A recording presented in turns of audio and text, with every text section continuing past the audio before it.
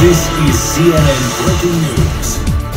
And hello again, everyone. Thank you so much for being with me this Saturday. I'm Frederica Whitfield. And we are following breaking news. Hurricane Barry, now a Category 1 hurricane, churning its way along the Gulf Coast. The storm expected to make landfall in a matter of hours. Right now, the storm is 40 miles off the Louisiana coast with nearly a million people in its path. Hurricane Barry carrying maximum sustained winds right now of 75 miles per hour.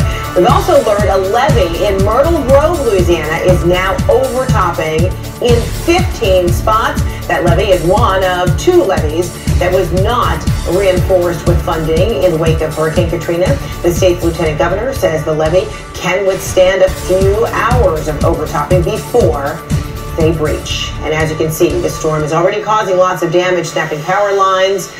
Um, and then there are power outages. Uh, consequently, both Louisiana and Mississippi are under a state of emergency. Residents are being told to now shelter in place. We're covering this storm across the Gulf Coast.